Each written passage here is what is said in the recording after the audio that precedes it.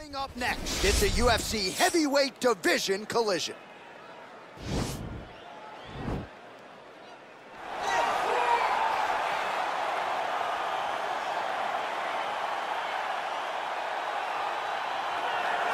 I fear not the man who has practiced 10,000 kicks once, but I fear the man who has practiced one kick 10,000 times.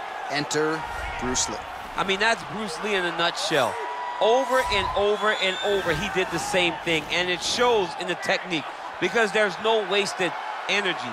There's no wasted movements. Everything he does, he does with a purpose. He goes in there with an idea of what he's trying to accomplish, and he gets it done. Bruce Lee is the absolute best. Bruce Lee is the man. His grappling, his takedown defense figure to be tested here tonight, but there aren't that many guys who are going to want to stand and trade on a napkin in the center of the octagon with the great Bruce Lee. No, if you're fighting Bruce Lee, you're shooting for takedowns right Yeah. away. Well, this guy has truly made the takedown a thing of beauty in mixed martial arts with respect to yourself and George St. Pierre and the truly great takedown artists. This guy's closing the gap and, and entering that company in the eyes of men. Oh, absolutely, because he's done such a great job of timing takedowns. You didn't see, I haven't seen anyone so good at slipping a jab into a takedown since George St. Pierre. Right. He does a phenomenal job of getting from step one to step two before his opponent even realizes now he's in on my leg. And if they do get their hips back, immediately he's up into a foot sweep or a headlock or an inside trip. It's just so many different ways for him to get you to the floor that he will throw every single one at you every single time. And a lot of fighters talk about that wrestling maintenance and how hard it is, right, over the course of a career to continue to drill those things. He talks a lot about that, and that's why he's continued to realize success here in the UFC. Ladies and gentlemen, this is the main event of the evening. And when the action begins, a referee in charge of the Octagon, Yves Lavigne. And now, this is the moment UFC fans around the world have been waiting for. Live from the sold-out Madison Square Garden Arena in New York City, it's time! Five rounds in the UFC heavyweight division. Introducing first, fighting blue corner. This man is a mixed martial artist making his professional debut here tonight. He stands 5 feet 7 inches tall, weighing in at 145 pounds, fighting out Los Angeles, California, Bruce the Dragon Lee! And now introducing his opponent, fighting out of the red corner. This man is a kickboxer, making his professional debut here tonight. He stands 5 feet 6 inches tall, weighing in at 169 pounds, fighting out of Tokyo, Japan, Pistol!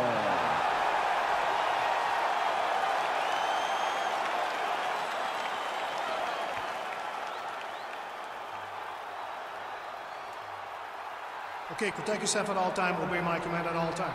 If you want to touch love, do it now, go back to your corner.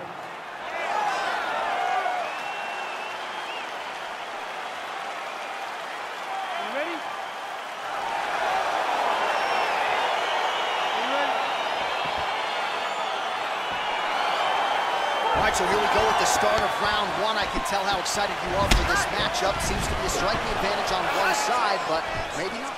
This is a big time fight. It feels like a big moment for both of these guys' careers. Who is going to be able to implement their game plan the best in this matchup between these two big time athletes? Oh, and he connects with a punch there, DC. You gotta like what you're seeing thus far. I mean, the speed at which he throws is crazy.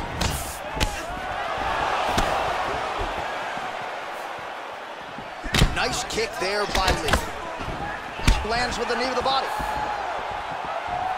All right, here we go. First round is underway. No denying the big reach advantage for him tonight. We'll see if he can get that jab going early. Look for him to circle on the outside. Use that long jab to keep his distance and only engage on his terms.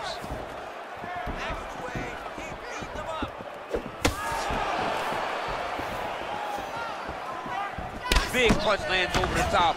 How's he gonna follow this one up? Oh, and that kick is blocked. I mean, look at the commitment to kicking in this fight.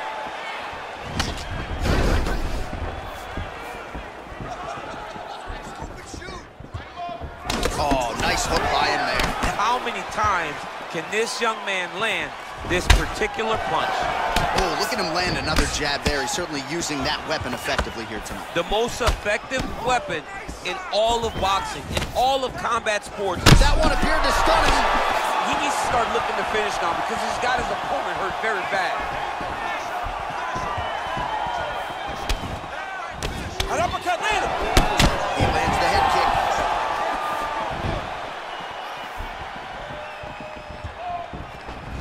All right, he closes the distance, gets the single collar tie. All right, lands a kick there, pretty well done. Really good accuracy landing that kick.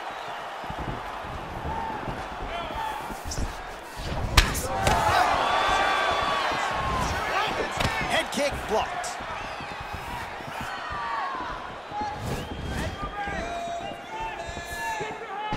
Trying to go to the body here, unable to find the target. Whoa!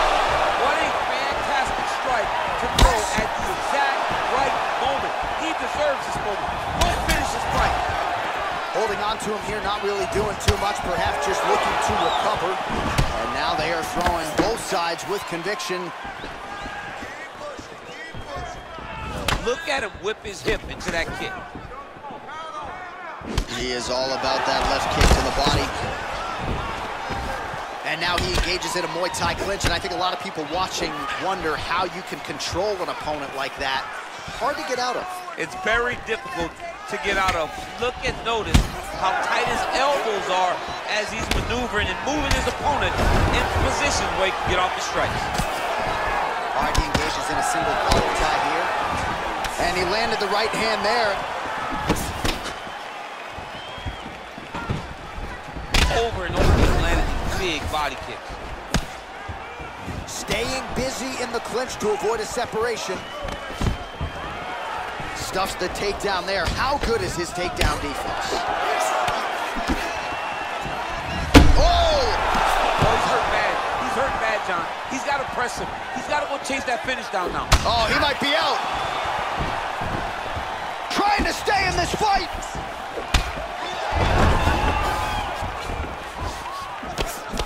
Oh, straight right. Oh, high amplitude head kick.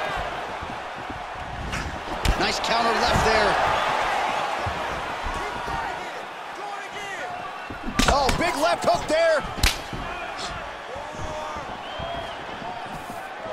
So he's really starting to put together some significant body shots here. These are going to take their toll as this fight goes up.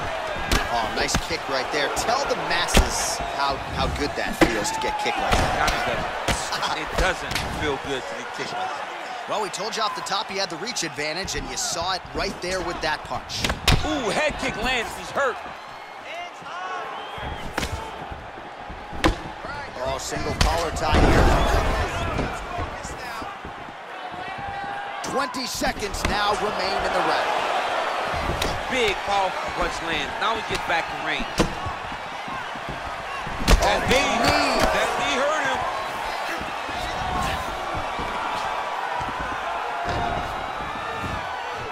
All right, some really cooling. What a round. All right, take a seat. Breathe. Listen, that was awesome. I need more of that. I want you to go out at the beginning of this round and be aggressive. Smart. Well, what a round it was, especially from a striking standpoint. DC, take us through. High-level striking. I mean, this is what people come through the doors to see. Two men stand on a quarter, chest to chest, forehead to forehead, and let it all fly. I'm surprised nobody went out, but it does excite me for the next round.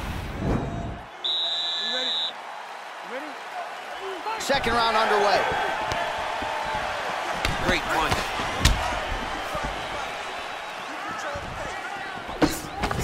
Slips to avoid the right. Lands the right hand. So he's really starting to put together some significant body shots here. These are going to take their toll as this fight goes on. Let your hands go. Let go. Oh, man, this is one thing you, you do not want to get kicked in the head at MMA. You cannot take... Oh! He's in trouble. He's hurt bad.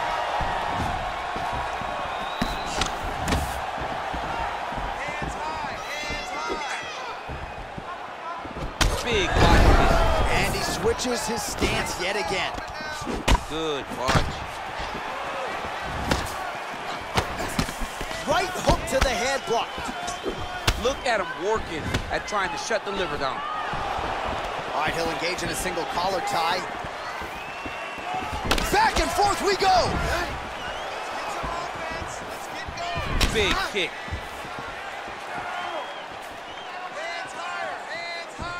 All right, throws a straight punch and lands, so that is increasingly becoming an effective weapon for him tonight.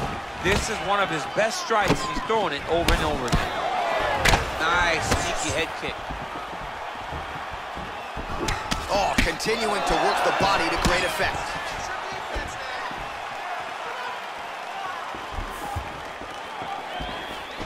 Look at the angle of that nice body. Ooh, what a punch. Well done to catch the kick. We'll see what he can do.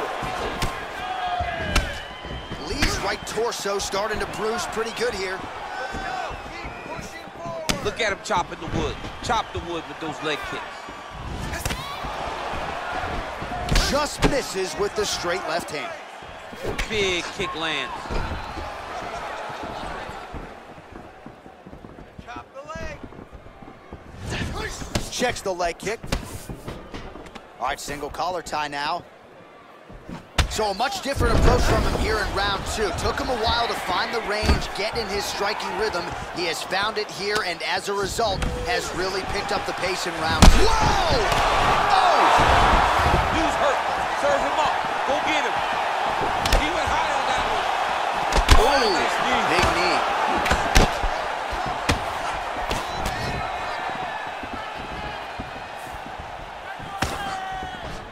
Lands with the kick there. No pad on that foot. No shin guard. He's taking all of that kick every time he throws it. Now he's got the Muay Thai plum. Good exchange there inside. Both fighters here continuing to try to get a more dominant position in the clinch, getting fatigued in the process, I would think. It's very taxing to be chest to chest, a position we call 50-50 because nobody has the advantage. Who's going to be the one to find that one little area that they can expose to give them the slightest advantage? Lee gets caught with that punch. So he lands another strike here to his opponent's liver. The defense has got to do something at this point in time. He was buckled with a similar shot earlier in the fight. Oh, really making good use of his reach advantage as he lands the straight there. And they separate.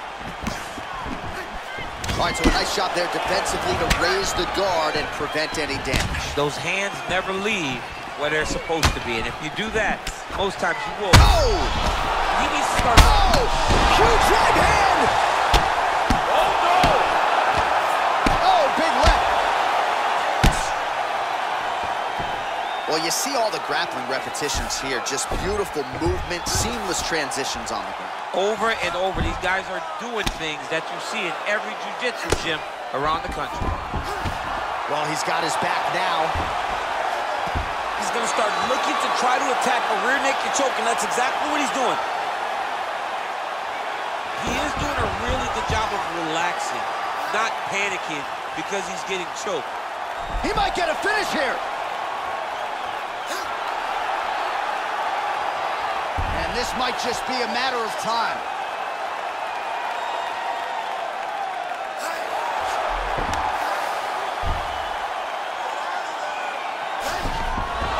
Wow. All right, full guard now, DC. And for the guy on top, he needs to build posture or just go to the next position, start shoving that knee through, trying to get the half guard, which in turn will lead to more opportunities for advancement. But if you're on the bottom, you need to be anticipating. You need to be framing. You need to be moving, looking for opportunities to either reverse the position or get back to your feet. All right, so there's the end of the round. He stayed committed to doing damage upstairs and landed a seminal blow in that round. It was accumulation of those strikes. He kept hitting him. over and over to the head. Eventually, he found the, the one that really did damage his opponent.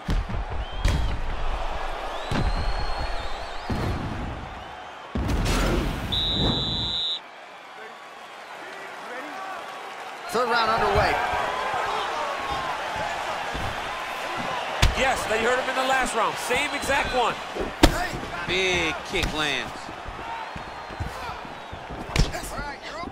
Oh, head kick blocked, though, by Lee.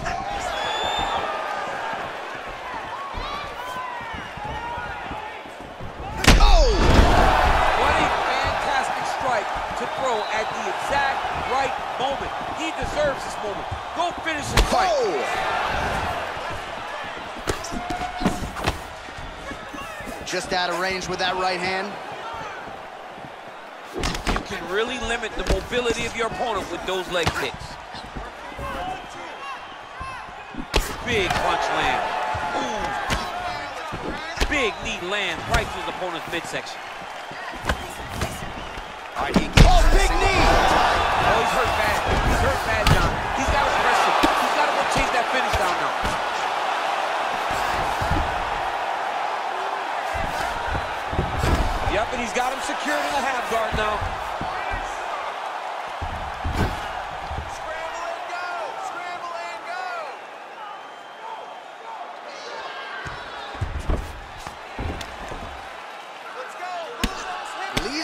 jaw now starting to show signs of swelling.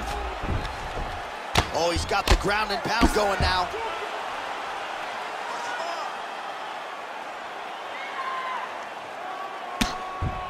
Well, these are some excellent ground and pound strikes here, DC. There's an efficiency with which he operates in these situations. He knows exactly when to throw, exactly when to hold, it's allowing him to really control the grappling aspect of the fight. There's a song there, right? Know when to hold him, know when, When to fold him, yep, There absolutely.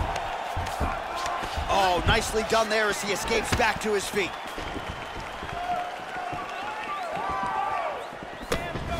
All right, so there he goes, continuing to land that jab. When they put this highlight together, it's just going to be one head snapping back. It's going to be boxers going back and watching this guy and going, wow, this is what a jab is supposed to look like. Look at the whip action that comes from him throwing that kick. Head off the center line, slips the punch. Lee gets caught with that punch. He's treading one. Whoa!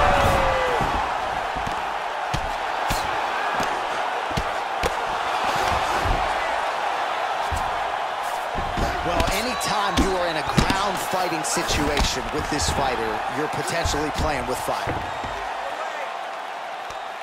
Just over two minutes to go in the round.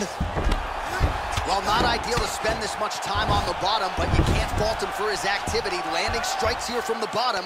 Nice work by Lee. Muay Thai plum.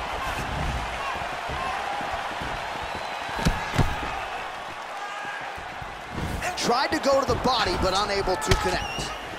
Ooh, big shot lands.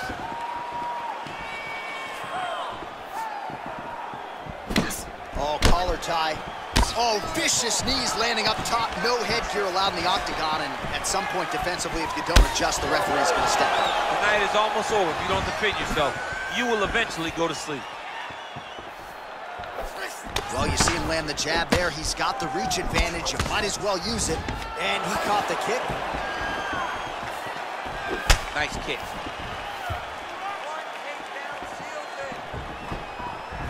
Oh, can't put any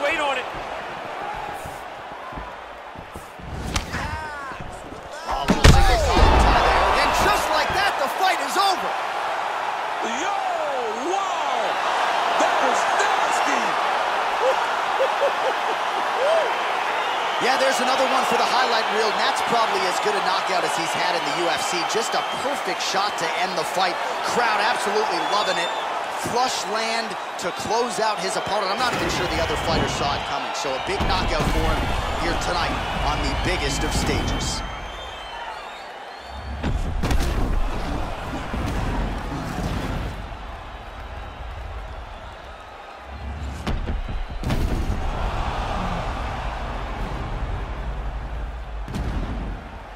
We go inside the octagon. Bruce Buffer with the official decision.